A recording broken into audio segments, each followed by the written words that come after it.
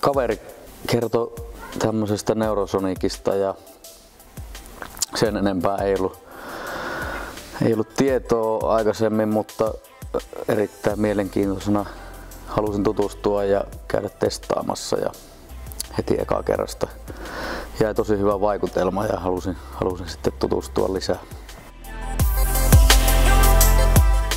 Mulla on itsellä toi Wavepatia ja tykkään käyttää sitä treeneistä ja peleistä palautumiseen, palautumisohjelmaa ja sitten myös aktivointiohjelmia on käyttänyt ennen pelejä kroppahereille sit päikkäreiden jälkeen aina. Ja sitten jonkun verran myös tuota rentoutusohjelmaa illalla sitten ennen nukkumaan menoa. Ja olen kyllä huomannut, että yö, yöunen laatu on parantunut sillä, että, että tota, nukkunut vähän sikemmin ja herännyt pirteämpänä aamulla.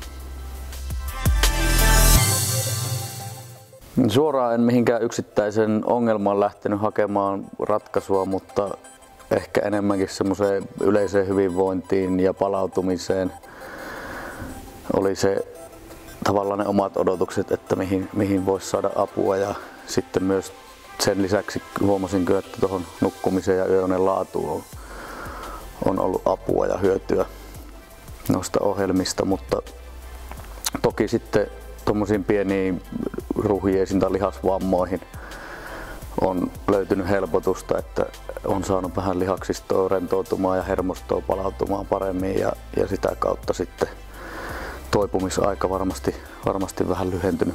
Myös kovien treenien jälkeen on huomannut, että, että lihaksisto on aika kireänä, niin sit palautumisohjelmalla on saanut selkeästi kroppaa vähän rentoutumaan ja, ja kireyksiä vähän löysäämään. Että, että se on ollut kyllä semmoinen selkeä, selkeä hyöty myös. Olen kokenut, että on ollut hyvänä lisänä, lisänä kaikille muulle, että ei lähtökohtaisestikaan ei ollut tarkoitus niin saada oikotietä onneen ja pelkästään patja avulla saada hyviä tuloksia, mutta selvästi ollut apua muiden hyvien juttujen rinnalla.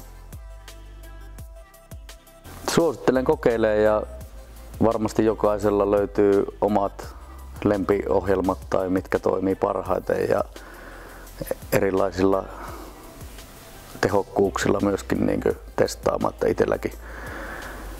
Varmasti enemmän tuli hyötyä, kun vähän säätin tehokkuuksia eri, eri koodista ja sai sitä kautta sitten itselle parhaat, parhaat mahdolliset säädöt päälle ja käyttäjäkokemukset sitä kautta löytyi.